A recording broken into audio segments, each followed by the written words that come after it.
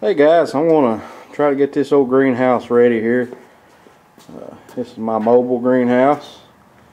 Took an old yard swing, took a swing off of it, put me some wheels on it on one end. I can lift it up, put me a couple shelves on it. And I can start just about all the vegetables and uh, about half of the flowers that we put out every year on this greenhouse. Uh, I've got just basic little slats.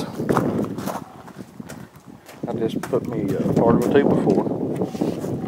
I ripped a two by four, put one part on one side, one on the other, and just put slats across it. And then just done the same thing up here. Just put slats, and I put these edges on them so my trays won't slide off. That's what these are for. Because when you get to moving it, if you don't watch, your trays will slide off. So I just put these pieces of old scrap wood and plywood and stuff down. Keep them sliding. And then I put this plastic in the bottom to kind of uh, cover up a lot of the open spaces, but I, let, I still leave some of it open so it'll breathe good.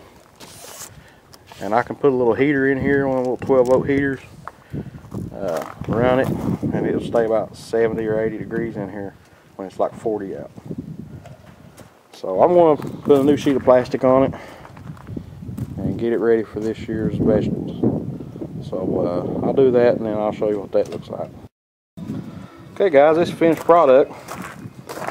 Uh, I just take this 6 mil plastic, clear plastic, drape over it from my back to the front. I like clean I like Daddy. You help me, Susie? No, Then I take and staple it. I kind of center it up the best I can. And I'll staple it here along the bottom where my daughter's hand is.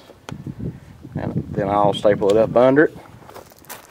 Then I'll come on the ends and I'll fold it back this direction, staple it down, and I'll take the slack, center it up best I can, and fold it back this direction and staple it up. I need to put a little tape on this corner because the wind will whip it pretty bad if I don't. It, it's real windy here, especially in the spring of the year, fall and spring. But uh, I overlap my flaps. This is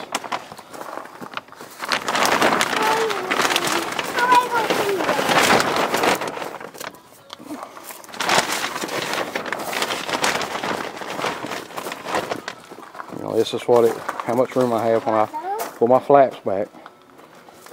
I can get probably, I'm gonna say 12 to 14 flats of vegetables down at the bottom and then probably four flats up on top.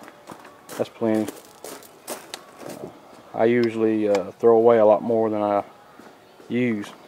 Or let, you know, they just die. You know, if you don't transplant them.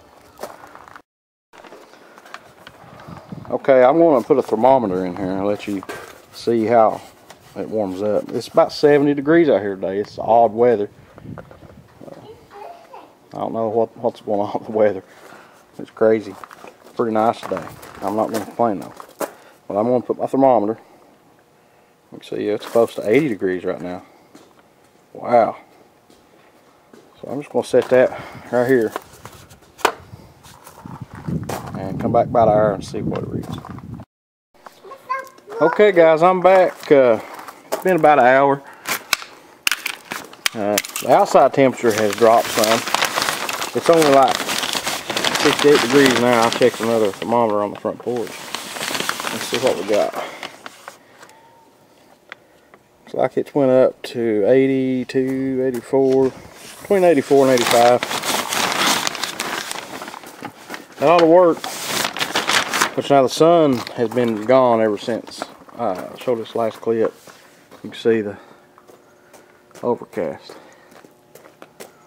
But uh, you can imagine what it would do if it was full sun out. It would do pretty good.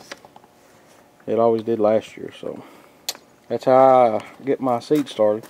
Now I'll start them in my garage. Uh, I'll probably do a video on that when I get ready to start them. And um, I'll just wait to explain it then. It won't confuse anyone. Well, thanks for watching.